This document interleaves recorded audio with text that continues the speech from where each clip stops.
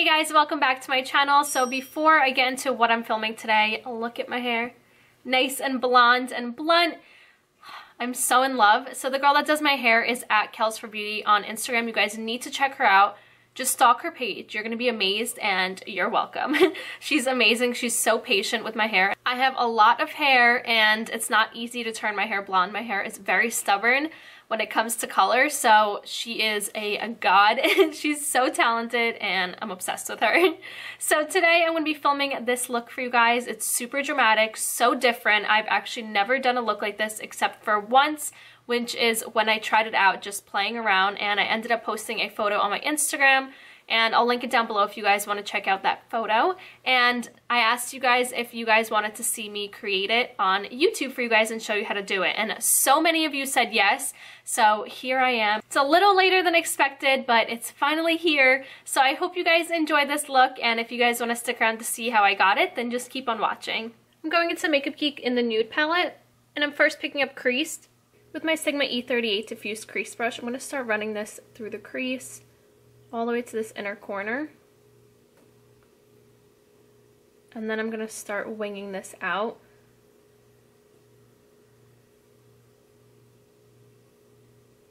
Now to darken up my crease, I'm picking up Dark Roast. Now switching over to my Sigma E25, I'm going to start applying this on the crease, but trying to keep it a little lower on the crease. And then I'm going to blend that up and out. And I'm applying this all the way into this inner corner and then start blending that and doing that same winged out shape. Then going back in with crease just to buff out the edges, make sure these two shadows are blended together. Now while I'm still using this palette, I'm going to pick up Creased and my Sigma E54 medium sweeper brush and run this along my lash line. And then picking up Dark Roast to darken up the lash line just smoke that out. To highlight my brow bone, I'm picking up So Pale. Now I'm going to highlight my brow bone with my Sigma E32 Exact Blend brush and then bring this a little in just to clean up the crease if I went too high with it. Now going into Eloise Beauty Get Lit Metallic Foiled Eyeshadow in Crystal Lights. So I picked this up on a Smashbox lip brush. I know that it's meant for lips, but it actually works so great to create the cut crease. So what I'm going to do is I'm going to look straight ahead and then I'm going to start applying the shadow right where my crease folds over just onto my crease so that you can still see it when I open my eyes. And now I'm going to fill in this inner third of my lid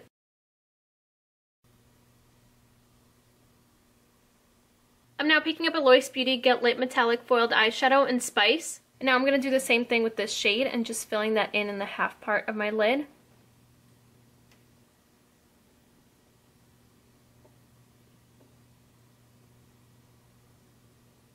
Then when I have barely anything left on the brush, I'm going to start blending these two shades together. So what I do is I kind of just place the brush right in between that harsh line and do little feathering strokes just to blend them together. I'm picking up the Sigma Standout Eyes Gel Liner in Wicked. I'm picking this liner up on my Smashbox Precise Brow and Liner brush, and I'm first just going to line the lash line on the outer corner. And then I'm going to start creating the line for the wing liner. And then bring that liner back on itself and make it really thick and connect that up to the cut crease. And then I'm going to start filling it in.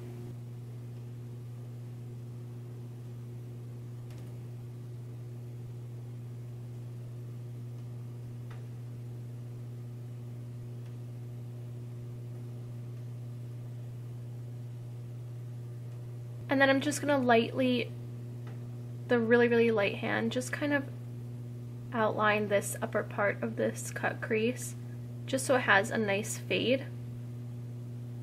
And now I'm going to line my upper lash line.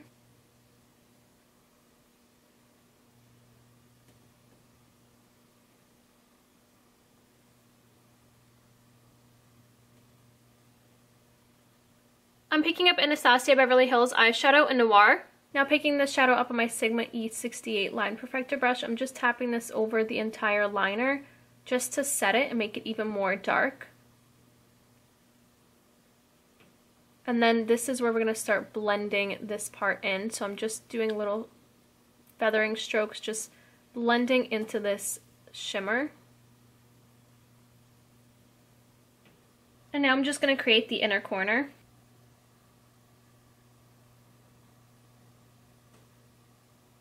And then I'm going to line my waterline.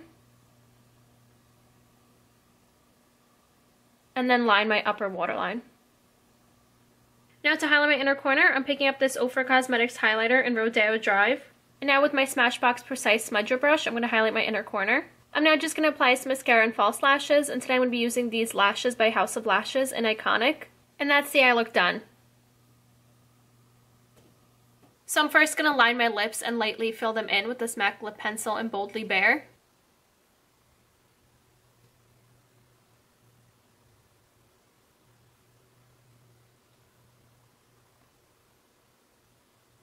So you can definitely leave it just like this and not apply anything else. You can apply like a nice gloss or just a nude lipstick. But I'm going to be a little extra today and this might make the entire look too shimmery, but you know what? I want to try it, so I'm going to do it. So I'm going to be trying out the Jouer Lip Topper in Skinny Dip.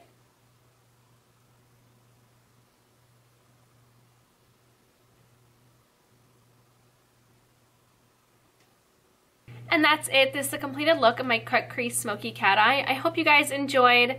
I had so much fun doing this. It's such a challenge and it is really tedious, but it's so fun to try to step out of your comfort zone and try something new. I was really bored one day and I was like, you know what, I'm feeling kind of uninspired. Let me just sit down and try something completely different from what I've ever done. And this is what I ended up doing and I ended up loving it and all of you loved it as well. So I'm so happy that I finally did this here on YouTube and I hope that you guys liked it. so if you guys want to follow me on Snapchat, Instagram, and Twitter, that'd be right here, as well as down in the description box, and also a list of all the products that I use today, along with brushes, will be listed down below, as always, for you guys to find them easier, and I think that should be it. Thank you guys so much for watching, and I'll see you next time. Bye!